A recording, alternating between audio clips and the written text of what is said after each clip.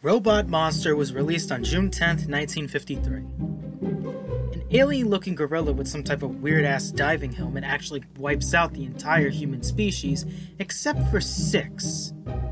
So, he has to find a way to not fail his mission of completely wiping out the human species by trying to kill off these six known people. I really do not like this movie. I mean, it could be goofy, it's goofy enough, but it is not that good. Even for 1953, this thing never got a DVD release. And I can tell that due to the fact that the quality of this entire video is not HD. So, yeah, this film is terrible.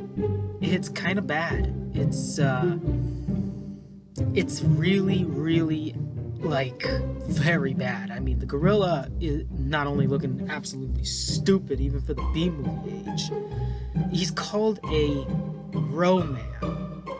A Ro-Man. It's kind of stupid name for uh, an alien species. They're not that intelligent. They're kind of stupid, and their devices are kind of weird. And really, this is how they wiped out the human species, and all they do is just walk around? They don't even look that intimidating, they just look kind of stupid. And for one hour and one minute, this movie's not my time, unlike The Black Cat and the Raven, which were really pretty much like same time. And that's almost like a full feature length film, so I recommend those over this movie. So, yeah, it, this movie was yeah, Robot Monster is just bad. It's not, you know, the worst thing in the world. You know, I it's pretty much in the terms of many people harmless. It's just what kind of man made this movie? I mean, the the intro, you know, cinematic of the name Robot Monster is nothing more than just comic books. Um, and for a movie, uh, this thing never got a DVD release, and I could tell due to the fact of the weak ass quality of this film. If it had a DVD release, this could have had the highest quality. But there is no high quality in this film, and it's pretty bad. Even the even the monster costume looks bad. It's just a gorilla with a diving helmet, with antennas.